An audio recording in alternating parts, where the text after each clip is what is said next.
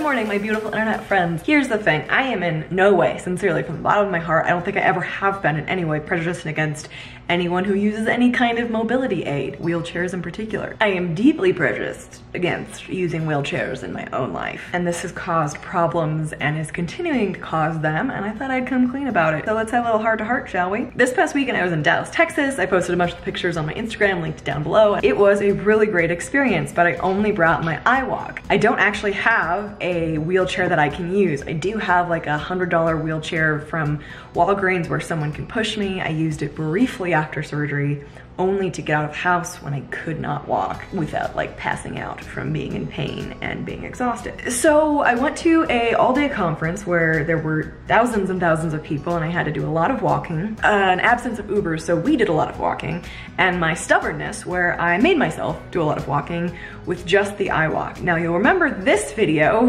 in which I said, so the iWalk is an awesome short-term solution, but it is not designed to be used every day for hours a day because that is not how our bodies work. Trying to be really careful with it and decide when it's worth it to use it. I'm also switching to crutches sometimes, which kind of crushes my soul a little bit. I'm trying to walk less on the iWalk, give my knee a break, blah, blah, blah. That's obviously going really well by the fact that I eh, walked probably a couple miles a day, at least one or two of the days that I was down there. and at the end of the weekend, a situation came up that kind of brought to my attention that I think I need to just like bury my pride because it's injuring my life and my body, but it's really hard for me. I don't know why, ever since I first injured my ankle, I like refused to ever be pushed in a wheelchair. Like if I went to the grocery store and I was on crutches when I was like 14, I would crutch around, gosh darn it. Mom would always be like, let's get you a wheelchair. And I'd be like, no mom, I've got this. I think it's an independence thing where like I wanna be able to, I don't even know if that's it because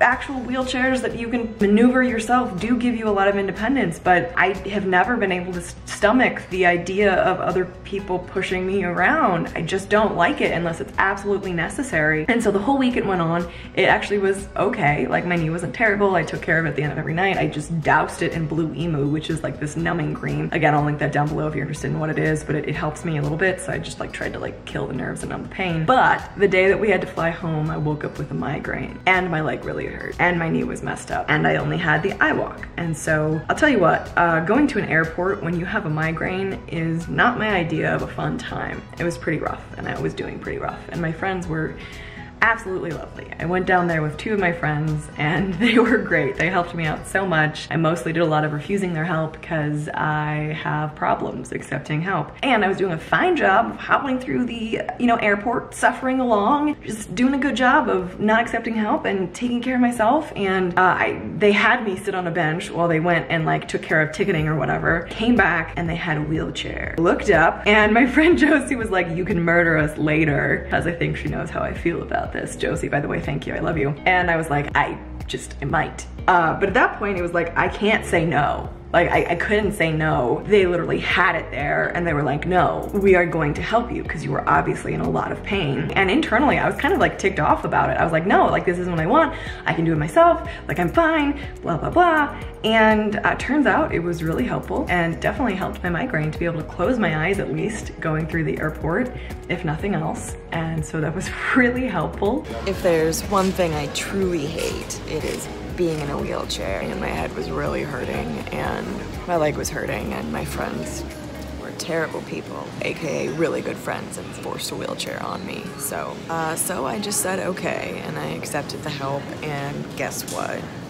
It actually helped. So thank you Josie and Amanda and here's another step towards actually accepting help and not doing everything yourself oh, but I hate it. Oh, but there's something, I just hate it. And I was thinking about the next trip I have coming up today because I am going to the Amputee Coalition's conference down in San Antonio. I've never been to Texas before, but I'm going there twice in two weeks. And my mom really wants to bring like the push wheelchair that we have. I've been fighting her on it and I had told her like, yeah, just bring it just to bring it. And I was literally about to text her, you know what, don't worry about it. I did fine with the iWalk all conference weekend. Like, let's not even bring that extra possibly very helpful tool that could save me pain and suffering. And I thought about it and I was like, Jo, what are you doing? Seriously, what are you doing? I was talking to another friend of mine online a couple days ago And I was, I was mentioning how the iWalk was hurting my knee and he's also an amputee and he was like, yeah, I use the iWalk a lot. I found that, you know, a wheelchair actually worked a lot better for me because it didn't hurt me and it still gave me a lot of independence. And I was like, oh, huh maybe I should consider that. Now my house does not allow for wheelchair use very well. Uh, it's three levels. Oh, to get in from the garage, there's there's a stair. Like it's just not very wheelchair accessible or friendly, but I'm wondering if it might be a good time to break down and apply to insurance to help pay for one that I could actually manage myself and not have to have someone else push me. Ah, side note, there is no badge of courage or accomplishment in riding the struggle bus and like struggling along and having a hard time or in unnecessary suffering. And I think somewhere along the line, I got it in my head that like, it was better to have a harder time if it meant that I was doing it myself. It was like giving in or a bad thing or somehow lesser if I made my life easier. Breaking it down like that makes no sense. And I honestly do think that there is strength in accepting help. I think that there is strength in admitting that you need something. I think what I'm trying to say is I am struggling to find that strength and it is, it is a, um, I'm still in the gym for that one. I have not reached the peak of accomplishing that just yet. But I am literally making this video and I'm going to publish it as a way of forcing myself to accept help. In this case, that means allowing my mom to bring the wheelchair as a backup option. I'm not committing to letting anyone use it. I'm just saying it's gonna be there in case I need it. Because I think I repeatedly shoot myself in the foot. I just push myself way too hard. For what? I don't know. It's just so important to me that like I have that independence. But again, I have literally never thought that someone using a wheelchair was not independent. Like I don't have that thought about other people. But as soon as it's about me, I get so upset and so angry and so flustered and frustrated. It's a real punch in the gut.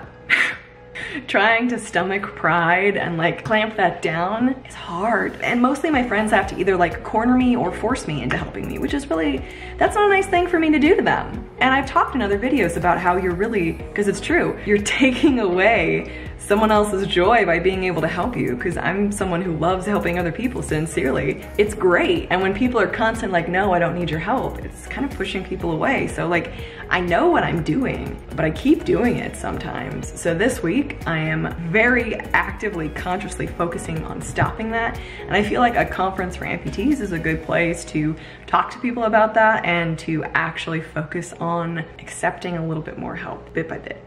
So what is something that you have trouble accepting help on? Or are you on the flip side of the coin and you are totally fine asking for and accepting help? If that's the case, I would love to know your secret or any advice. If you are gonna be at the conference, I would absolutely love to run into you. Let me know if you'll be there. I'll be looking out for people to say hey to there. As always, a huge thank you goes out to all my patrons over on Patreon. It's kind of like an online tip jar and I really appreciate all of you guys there. It's an amazing little community that we have growing there. I couldn't do this without you guys. Thank you. Look forward to reading your comments down below. I love you guys. I'm thinking of you and I'll see you in the next video. Bye guys.